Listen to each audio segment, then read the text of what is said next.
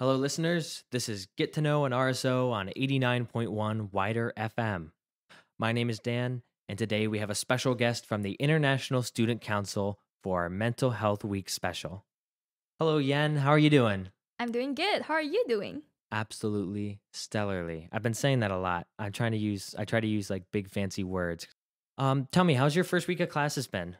It's been pretty busy. Like, um, there's a lot on my plate, 15 credits plus International Student Council, but it is very fulfilling and I'm super happy about it. Awesome. I'm glad you're I'm glad you're having a good time doing it.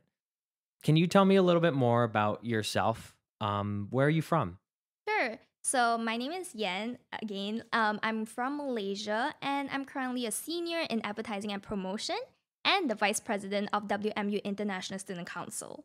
Awesome. And um, can you tell me what is? I'm sorry. Can you say that again? That was advertising and promotion, correct? Right. Tell me a little bit more about that.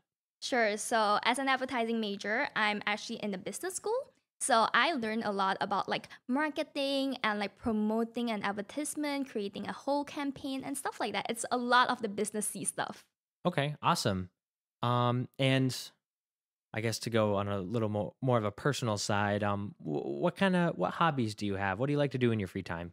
Um, I personally love to go for events on campus. Like there are a Mm. lot of RSOs that have like really fun events. I like to do that, and sometimes I just like to sit at home and watch Netflix. Good answer. Good answer. Both of those. Now I'd like to get to know a little bit more about about your RSO and uh, what you do there. Can you tell me what your position is at the International Student Council? Right. So I'm the vice president of the International Student Council.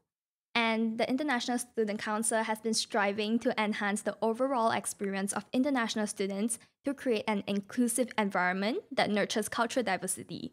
So, our goals are set to four pillars of striving to improve the well being of our current students, support incoming international students, support the success of cultural student associations, and help students to adapt towards the US culture. And what drew you to the International Student Council? Right. So, as an international student myself, I understand that it can be hard to adapt to a new environment because, like, for an environment that's different from your own, and like at the same time, a lot of culture shocks. Mhm. So, one of the biggest problem I encountered was really meeting friends, like getting new friends. Mhm. So, throughout the whole time, I'm so afraid that like people would judge me for my broken English and my accent. So, as um, an international student myself, I want to be the one to provide to the other international students to provide a better environment for them to adapt to this much more easily. Awesome. And just to learn a little bit more about your position, what does the vice president do for the International um, Student Council? Right. So I connect with faculties, but at the same time with cultural student organizations on campus to promote collaborations. So I connect with them, make sure we have a good relationship. So because sometimes it's also easier to like promote your events, but because we really hope that cultural RSOs can be more engaging on campus, we try to support as much um, support that they need the help and everything. So I'm in charge of like the liaison between me and the faculty if they have anything they want to let the RSOs know. But also at the same time, if RSO have anything that they wish the faculty could help them with, I work like I make I'm like the bridge in between. hmm Mm-hmm. Do you have any examples of of anything you've done recently? So yes, so currently we're actually working on um, international festival, which will be on the October 15, 2 to 6 p.m. at Miller Auditorium. So Haenicke um, Institution High is at um, H-I-G-E, sorry. They are actually in charge of the international festival. And I'm, as the vice president, I um, work in between the faculty of letting the culture RSO knows know about all the information they need to know in order to be part of the international festival. So I talk to the culture RSOs on like, okay, well, like what are the things that you need to do? So are you gonna be having a performance? If you are, what type of performance is that? So I work between the faculty and that, and we'll be having a much frequent meeting in order to make sure that international festival goes as well as it, as it can on October 15. So um, also promoting our event. So everyone feel free, like if you are free that day, please come to our event. International Festival, October 15, 2 to 6 p.m. at Miller Auditorium, where we'll be having like culture food. You can learn about the culture, like the diverse culture um, around the world, and free food, um, performances, and fashion show. Great. It, I, it's hard to say no to free food. I'll probably have to stop by there this next week.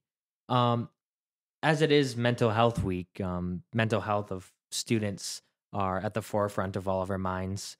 Um, what are some unique challenges specific to international students uh, when it comes to their mental health?